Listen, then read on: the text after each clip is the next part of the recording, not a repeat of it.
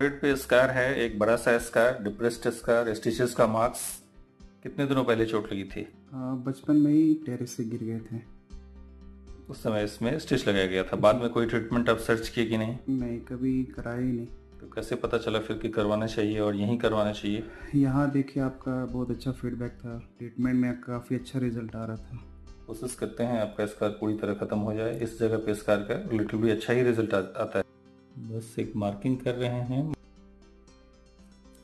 और कुछ, ये इतना एरिया है जिसको कि सर्जरी में हम लोग डिस्कार्ड करेंगे। और ये ऊपर नीचे का जो मार्जिन है, जो नॉर्मल टिश्यूज है, ये और ये ये दोनों आपस में यूनाइट करेगा। ये दोनों एक दूसरे से जुड़ेगा। लगभग six seven centimeter into two centimeter का ये स्कार का साइज़ है, जो डिस्कार्ड होगा।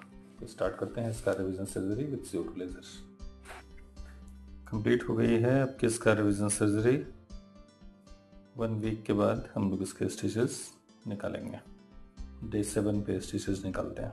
फोरहेड पे एक बहुत बड़ा सा स्कार विथ स्टिच मार्क एक वीक पहले सर्जरी हुई थी और आज स्टिचेस निकाले हैं। अभी अगर देखें तो एक पतला स्क्रैच की तरह का लाइन उसी अलोंग द स्कार उसी पैटर्न में दिख रहा है।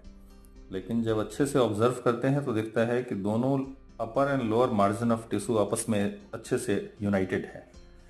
थोड़ी सी रेडनेस जो स्टिच का थ्रेड्स था, ऐसे तो बहुत fine thread six zero protein का यूज़ यूजुअली करते हैं, या सेवन ज़ीरो उसका अपना एक इंडेंटेशन मार्क्स वो दिख रहा है आप anti scar medicine silicon gel और gel sheet along with sun protection sunscreen वो सारी चीज़ों का यूज़ करेंगे।